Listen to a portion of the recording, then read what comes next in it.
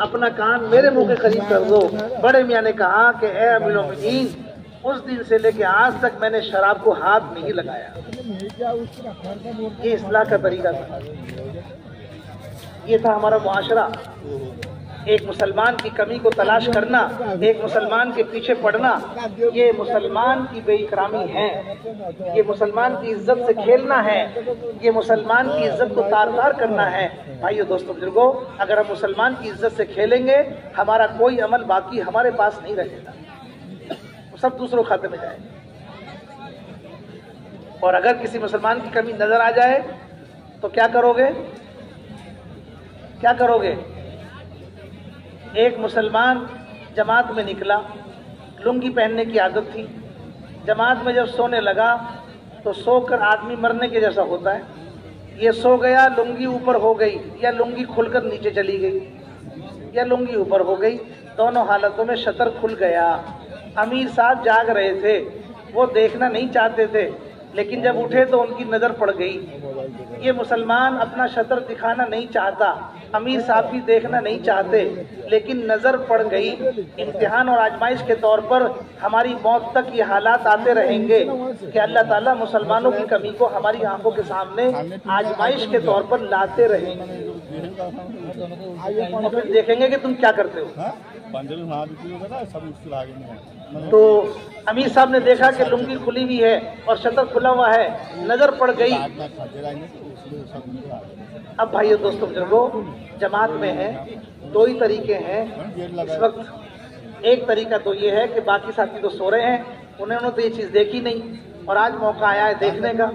तो एक तरीका तो ये है कि एक एक करके उठा के दिखाएँ सबको। और दूसरा तरीका यह है कि सारी जमात को एक साथ उठा के दिखाएँ इसमें बेहतर कौन सा है? बताओ ना। इसमें दोनों में बेहतर तरीका कौन सा है? क्या कह रहे पहला वाला? दूसरा वाला? कोई बेहतर नहीं है। अगर किसी मुसलमान की कमी हमें नज़र आ गई तो आप कह रहे हो कि किसी को उठा के मत दिखाओ। लेकिन हमारे तो पेट में रोटी हजम होती नहीं।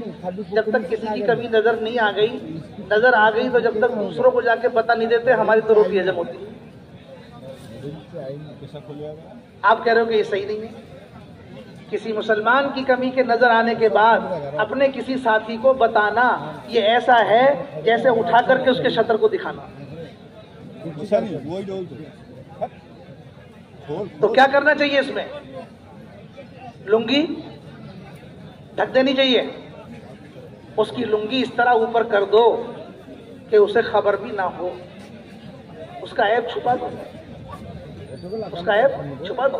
मुसलमान की कमी नज़र आ गई। दूसरों को बताना बेदीनी है और उसकी कमी को छुपाना दीन है, लेकिन उस बेदीनी को हम करते हैं चाय की दुकानों पर बैठकर, दोस्तों की मजलिसों में, घरों के अंदर। ये समझकर कि ये दीन का काम है।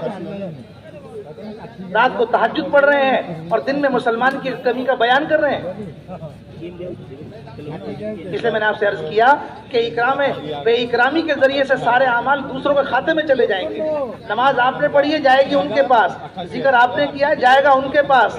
रोजा आपने रखा है, जाएगा उनके पास। हज आपने किया है, जाएगा उनके पास। हमारे पास कुछ नहीं रहेगा।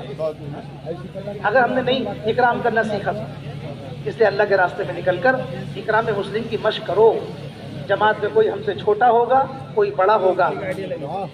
जो बड़ों का अदब ना करे, जो बड़ों का अदब ना करे, छोटों पर शफकत ना करे ओलमा की ताजीम ना करे, वो हम में से नहीं है। अजमालिया साहब रहमत की तफसीर में फरमाया करते थे, बड़ों का अदब बड़ों की खिदमत है, छोटों पर शफकत छोटों की खिदमत है।